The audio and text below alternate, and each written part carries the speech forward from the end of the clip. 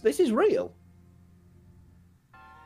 Someone discovered a particle, and they need my permission to use it, and they have it.